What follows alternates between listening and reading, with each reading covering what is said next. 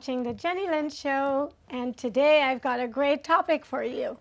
I'm sure that you or someone you know have tried internet dating. And so today, my panel of experienced guests are going to share their fascinating experiences of internet dating with you.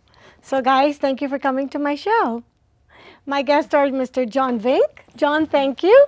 Thank you. Lauren Garland and René Mendoza. Hi. Thanks, guys, for taking the time out to come and tell us about your wonderful experiences on internet dating.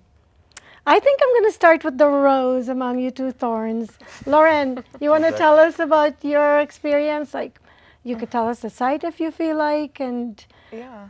and what was your most memorable experience so far from this ex- from this medium of meeting people? Okay. Yeah. Um, so I've been on a couple different sites. I think over the past maybe four years. Um, and I think going into it, I thought I would probably have a lot of crazy experiences. Um, but for the most part, people were pretty, pretty normal. But I definitely did have a couple experiences that, um, yeah, were kind of interesting. So Good. We're going at to come back to you, René. Okay.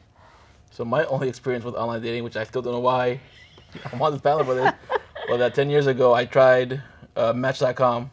So I was 18 at the time, and uh, my friends told me that they had rejected, and I'm like, that's not true. I'm like, so I tried it, and I put through all the questions as honest as I could, like we can't match you now, and then we got said we got the alert saying that two thirds of, of, of uh, no 30 percent I'm sorry, can't be matched at the time. So I'm like, okay. Was that because of your age? I don't know, but I'm guessing that's what it was. Huh. Uh, All right, we're going to come back to you. John, Yes. You tell us about yours. I mean, have you tried all the sites? Um, No, no. Okay. Um, someone, someone else had set up a Match.com profile for me, Okay. so I wasn't wholehearted into that. And then I tried a, a dating site called Tinder, and so I've tried those two. two sites. Okay, so we're going to come back to you in a minute and you can tell us the differences between the two sites, which one you think worked for you, if any did. But think about it while I go back to Lauren. So, Lauren, you said you were on Match.com. Yeah. Um, I did um, match um, OkCupid and Tinder. Okay. Yeah. So, two of those you are free, right? Um, yeah. mhm, And then one you have to pay. Yes. mhm. How do you compare Mm-hmm. the site that you have to pay versus the free sites? Um, that's a really good question. I think the ones that you have to pay for, um, I think you get a lot more people who are a lot more serious about meeting someone. Um, and I think on the other two sites that are free, it's people are more kind of like, oh, you know, what the hell? Let me just try it out. And um, I don't think it's, I don't think that people are looking for their soulmates. I think it's more for um, Mr. or Mrs. right now. So rather than forever. So, it's true what they say, then you Mm-hmm. get what you pay for. Uh, I guess so. Yeah. Okay. Did you ever meet anybody on any of these sites that ended up resulting in a serious relationship? Um, no. Okay. No. All right. So, John, Yes. how long were you on Match.com? Um, so someone else set up the account for free, but then I get all these emails saying someone's interested in you or something. But in order to see anything or receive emails, you have to like pay this exorbitant fee. Um, so I, will, I just signed up for the shortest amount possible, like I think three months. Okay. So, somebody signed you up. Was it with your permission? No, So, tell us about that then. I'm I'm just at work one day and Match.com starts sending me an email saying someone's interested in you, and I thought it was spam.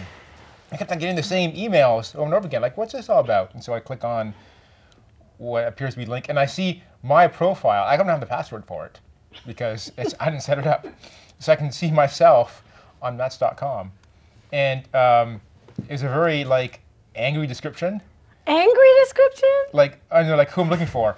I don't want any gold diggers. I only want women who have their own money. and You know, we and all I value my money. I'll mm. spend money, but I don't want to spend a lot of it and waste it.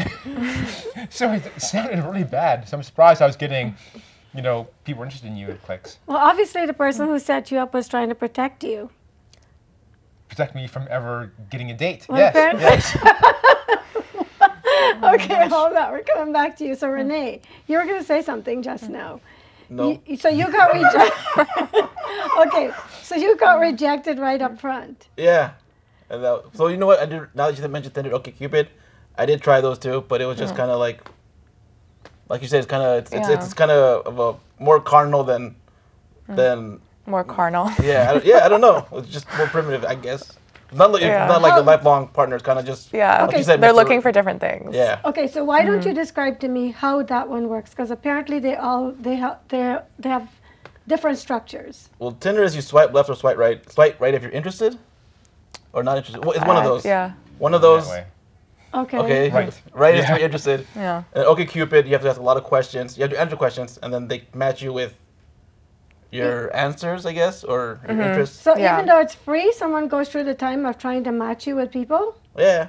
I wonder how they make their money. It's probably a computer setting. Yeah, it's a computer. Yeah. Oh, type- okay. Yeah. So when you went on to OkCupid, did you wake up and get an email like John was getting saying someone is interested in Yeah, you? Yeah, but you also have to get. You I think you have to pay for those too, don't you?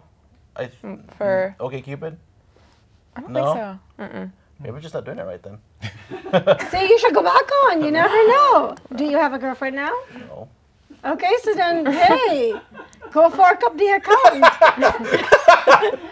you may have a list of people waiting for you, right? Oh. So, Lauren, you try Tinder. Yes. Okay, how does how does how does Tinder work? Tell us. Um, Tinder works. I think it's probably the easiest one out of them all in the sense that you literally just put up like, you know, however photos you want, and then you put like a little blurb about, um, you know, what you want to say about yourself, and then basically you're done. And then um, you can search people based on distance and based on age and um, based on, I think, yeah, I think that's about it. So, um, so yeah, you kind of set those limits, and then you basically just go through pictures. I think it's a really, it's probably the quickest one. How long have you been on there? Um, on and off, maybe for about a year. Did you ever meet anybody that was interesting? Um, yeah. I mean, I have met people that I've gone on more than one date with, um, but nothing that was serious, like one year or anything like that. So, did you think that the people you met on there misrepresented themselves, or do you think that they were honest? That's a good question. Um, I feel like for the most part, people were pretty honest. I think that was probably the thing that shocked me the most with online dating was that I expected to meet people and they were going to be completely different, and for the most part, they, on the surface, they seemed to be who they were, but who knows? So, John, you tell us: Have you met anybody on there that you've gone out with? Uh, on Match, I didn't meet anybody. Uh, I was on Tinder as well, And and so um, I met a girl who I've been on dates with. okay, Yeah. did she misrepresent herself? No, Okay, I. She's had pictures. There's no blurb, okay. and the pictures were of her. So I've been doing my own background for preparing in preparation for this show. And which one of you on this panel can explain the roses and what that means if someone tells you they need roses? It's code for money. Yeah. Simply put. It's a code for money. Did So you ever I was get? well here on, on Tinder. I, I had a lot a problem a lot, where say you Tinder is you you see pictures of people Yeah. and you just click yes or no uh, on them, and if they click if you click yes and they click yes as well, it's a match. You can start having conversation. So I found out early on that most of the ladies who I matched with would respond with, "Hey, if you want the girlfriend experience, it costs 50 roses per hour."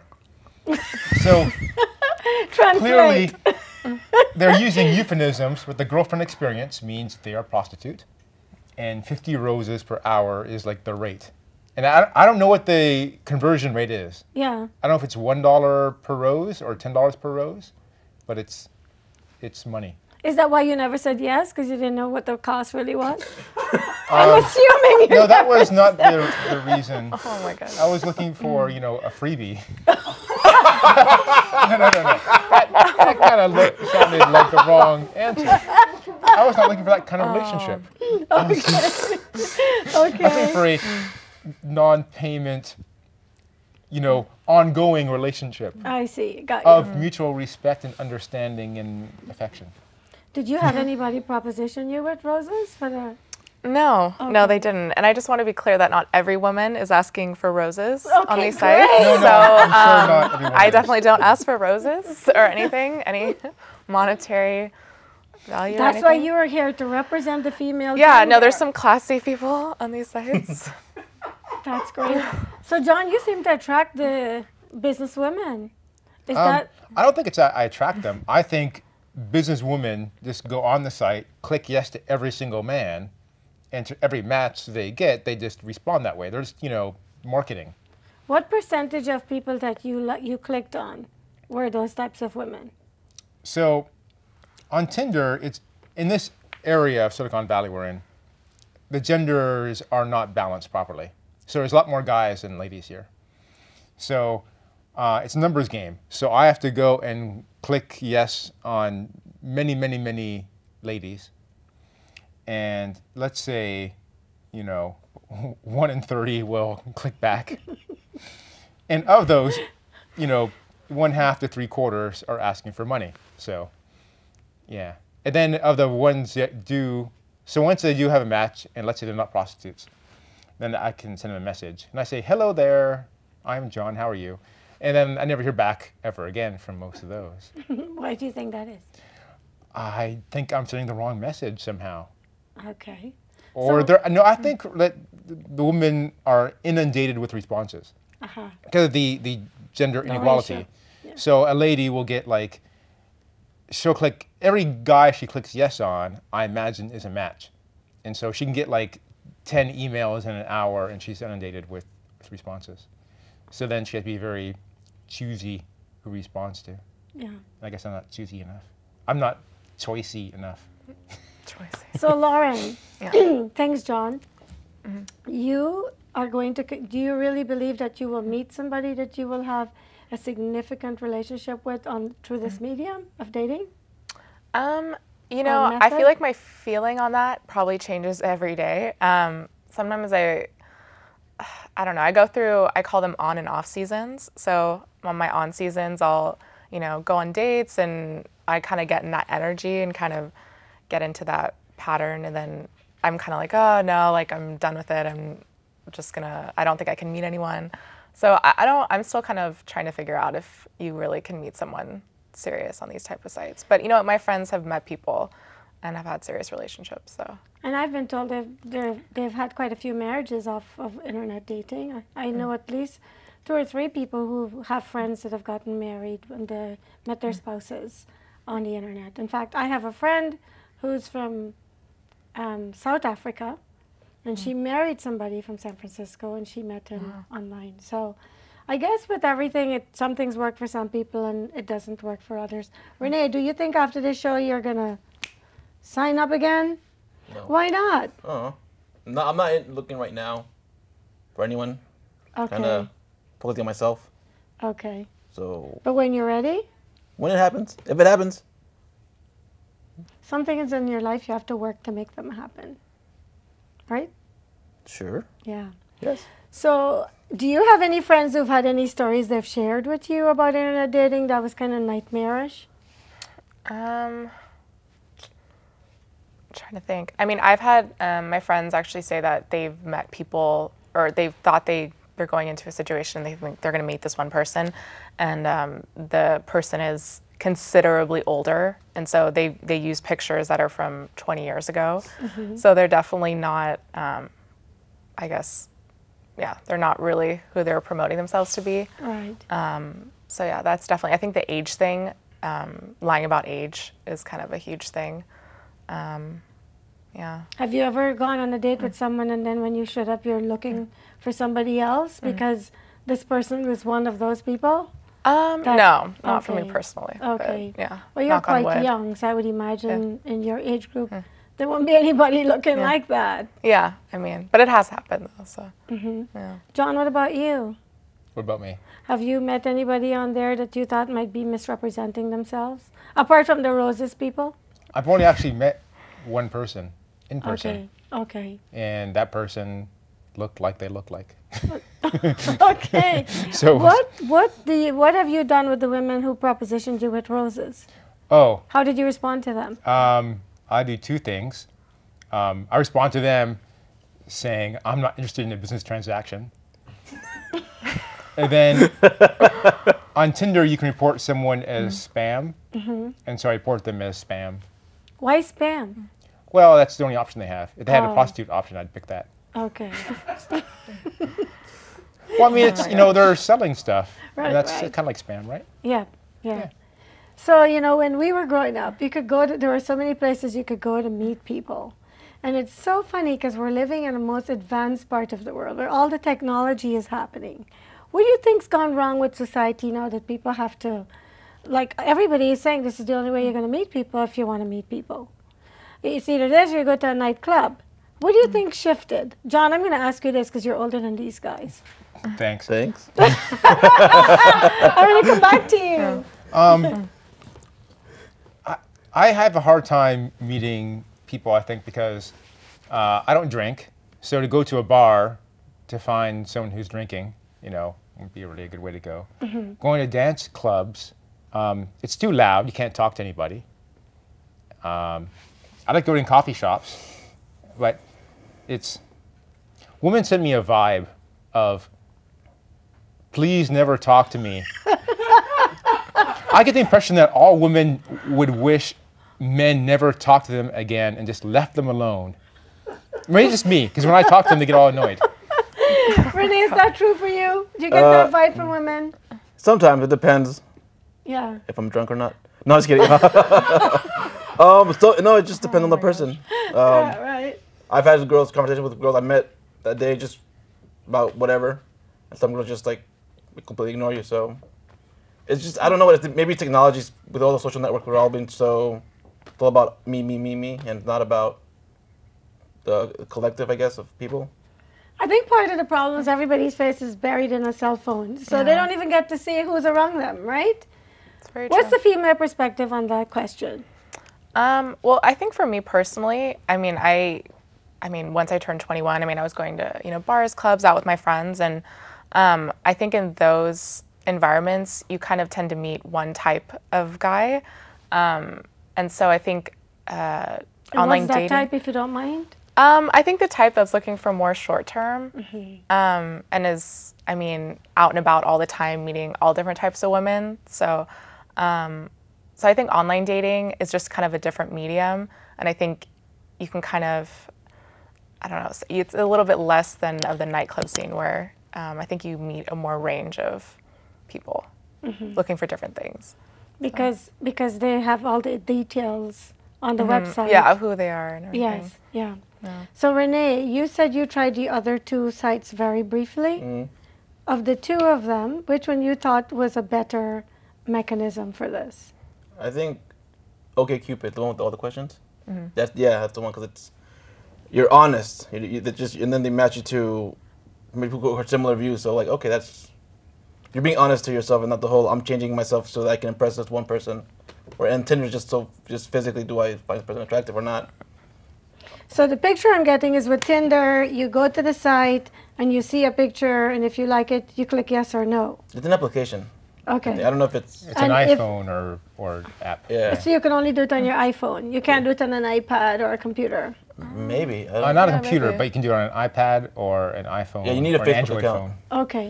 Okay. So you go to the site and you see a picture and you're like, oh, this person's really cute, and you click yes or you click no, and they, and if you say you like them, but they, they- don't say they like you, that's a lost opportunity. yeah. Can you go back and look up a person? No. It's gone. Yeah. They're So- gone forever. Wow. so you have one yeah. moment. One to, chance, and that's it. And Don't you Lose your blow it. chance. Yeah. Yeah. Wow. So how does that different from OkCupid then? You you fill out the questionnaires and they match you, and then you get a notice telling you that you and this person have something in common.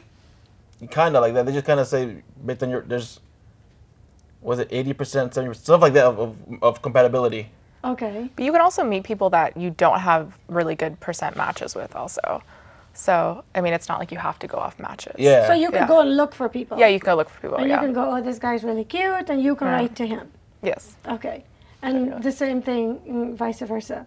John, Match.com. Tell us. Can you just go randomly looking for women and Yeah. go, this Well, you woman's can- really hot? You can do a search saying I'm searching for someone like this, like this age range and these things, and you can make that search as wide as you want or Mm-hmm. as narrow as you want. Yeah. And then you find one you like, You and then what like- happens? You, click on it. You say I like. You can like them, like like a photo of theirs. You can wink at them, or you can send them a message. How long did you say you stay on? You stayed on for? Only for like three months. Boy, some people must have really have loved you to to go, gone through that process of getting you. They might have loved me, or they want to torture me. I, it's unclear.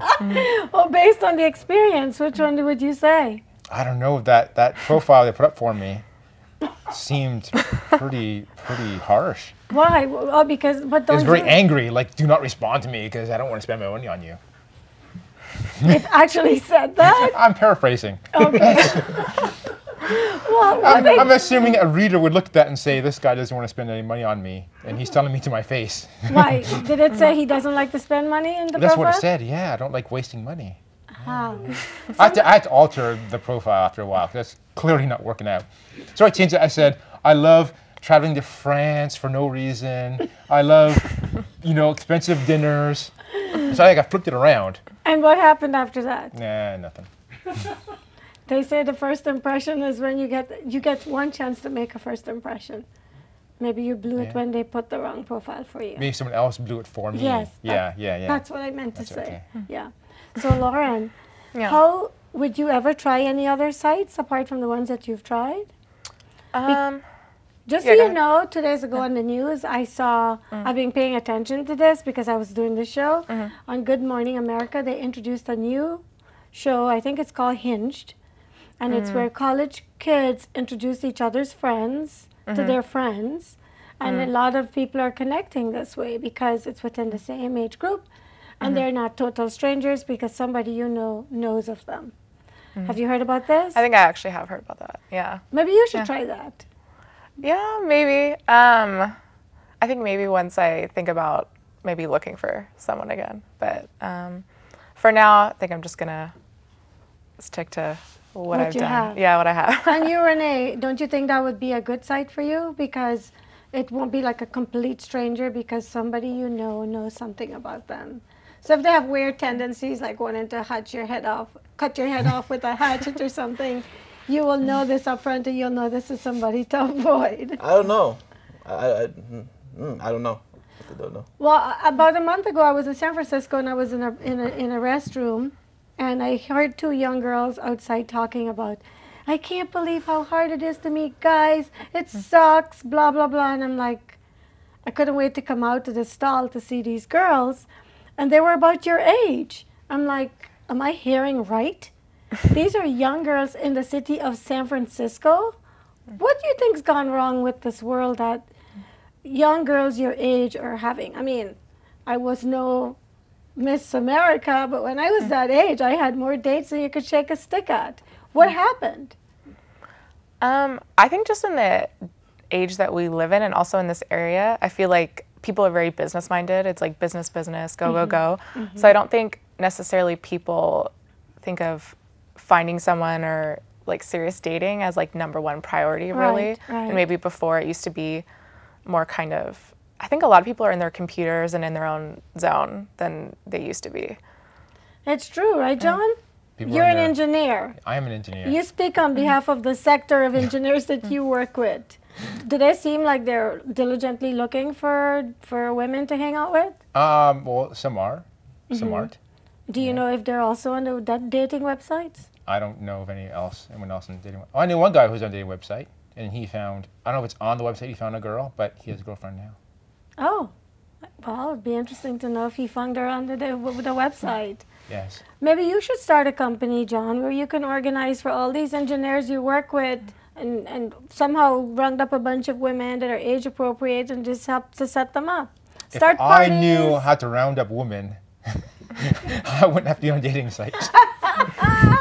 Well, I have had an idea a long time ago. So if you're watching this show, maybe somebody should start this.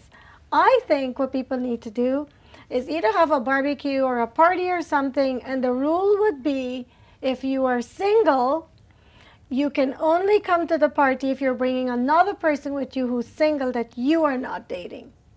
Hmm. Chances are, within all the people at this party, at least two people might connect. And if two people connect, that's brilliant, right? You got a match. And I hmm. think what that's what people need to start doing because granted you can go on the internet and post all this stuff, but people misrepresent themselves like you said. Mm-hmm.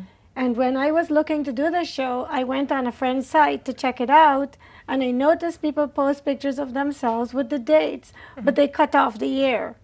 And for mm. me, if I see a picture like that, clearly that person is not being honest, and that picture is probably from high school.